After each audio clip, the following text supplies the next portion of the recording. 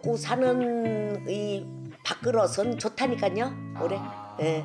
올해 해는 토끼 해에다가 범해잖아요. 그러니까 이 범은 산에 가면 내 세상이거든. 예.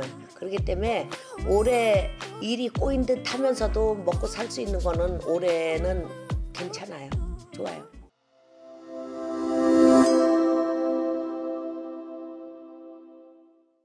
안녕하세요. 구인사 박경입니다. 반갑습니다. 반갑습니다. 자 오늘의 주제는 네. 2023년 개미년 74년생 50세 예. 호랑이띠 분들에 대해서 알아보도록 할고요. 예, 어, 이제 반평생을 살아오셨어요. 네. 반평생 살아오시나 정말 고생 많으셨고 2023년에 운세 들어가 있습니다. 아, 74년생 50 범띠요. 어, 이분들도 어떻게 보면은 사람들이 너무 정직해요. 너무 정직하고 성격이 고지식하면서도 좀 예의가 밝아요. 그러면서도 조금 어, 성격이 교과서대로 가시는 분이 많아요. 어, 고지식하게. 음, 응. 어, 이분들은 올해 그래도 조금 개면년 토끼해에 들어서서 조금 운이 풀리는 것 같으면서도 남 때문에 조금 조심해야 될 일이 있어. 남 때문에. 왜?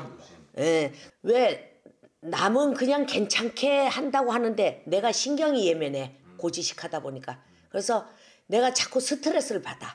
그 힘이 들어. 그러고 어떻게 보면은 아 일이 조금 풀릴 듯 하면서도 조금 자꾸 꼬여 들어간다고 하나 그런 일이 조금 오래 생길 거예요. 그래서 50평생 살았지만은 어 그걸 올해는 조금 조심을 하셔야 될 것 같아요. 올해는 정말 사람 조심.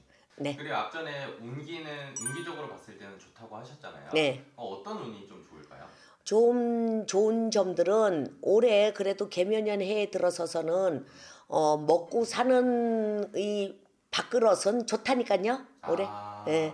올해 해는 토끼 해에다가 범해잖아요. 그러니까 이 범은 산에 가면 내 세상이거든. 그렇죠. 예. 그렇기 때문에 올해 일이 꼬인 듯 하면서도 먹고 살 수 있는 거는 올해는 괜찮아요. 좋아요. 추가적으로 말씀드릴 수 있는 거는 어, 어떻게 보면은 내가 좋다고 해서 너무 사람을 막 믿거나 좋다고 해서 사람을 너무 좋아하거나 이러면 안 돼요.